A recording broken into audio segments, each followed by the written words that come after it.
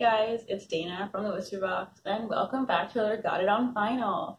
Um, I know I said last time I was going to come back with another one in September, but I got super busy and like I put a lot of stuff that I was going to blog about in September back uh, to this month and next month.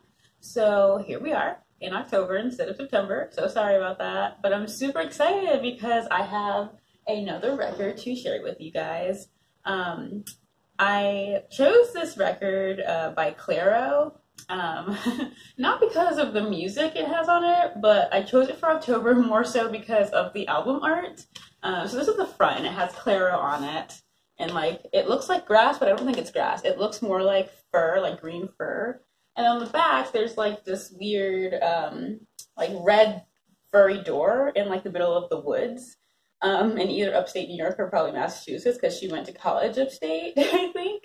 And so it reminds me of like kind of Halloween, like this like spooky like door in the middle of nowhere that's like made of red fur, like a red furry monster.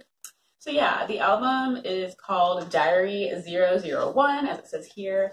Um, and it's by Clairo, the bedroom pop queen. Um, I love her music so much. Um, I discovered her maybe like a year or two ago, and she's really great. Um, she's from uh, Massachusetts, as I said, and she's super young. She's like 21 years old. I say super young because like that's four years younger than me. um, and yeah, like people get mad kind of about the fact that like she got really popular because her dad is um he works in the music industry. But I don't really care because she's super talented and like it like amazes me that her work feels so polished, even though she makes all of her like music mixes like literally like inches away from her bed, like in her bedroom on like probably a computer or a little like tiny sound system in her room, which I think is really, really cool. So yeah, let's talk about Diary 001. Um, it's only one side because it's an EP. So um, it only has six tracks. So it's really, really, really easy to just slip it into your record player and then just keep pressing restart over and over again after it finishes, which is basically what I do all the time. Um, and yeah, I'm like so excited to dive into this. So let's go ahead and do this. Um, the first song that I want to talk about, if I can just get this back in here, is um, Hello, which is the opening track.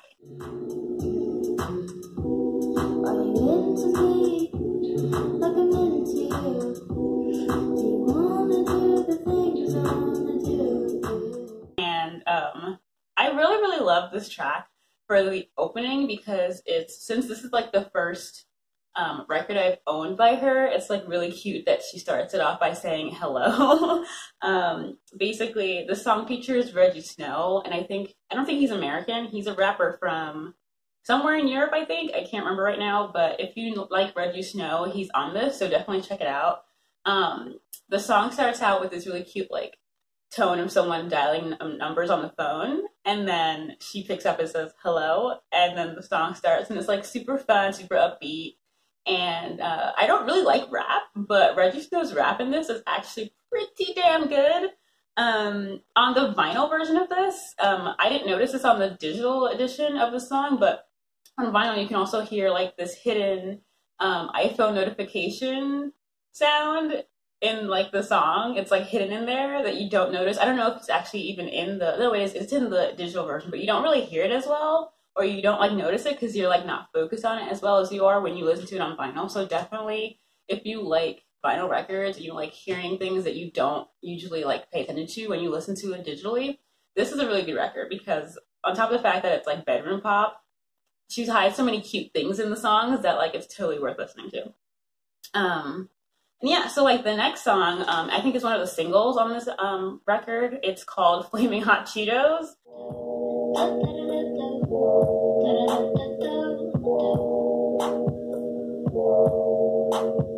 Sometimes I feel like I just wanna go back to my Um, I'm not a huge fan of like the song's lyrics themselves so much, but I do really, really enjoy um, like the bell sounding synth that she carries throughout the song.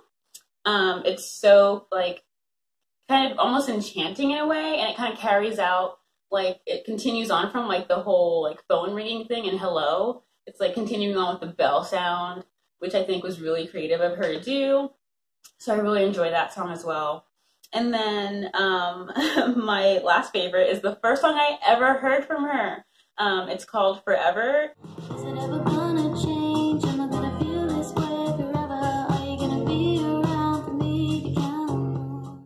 And um, the reason I'm looking down is because I have all my notes on my Surface tablet.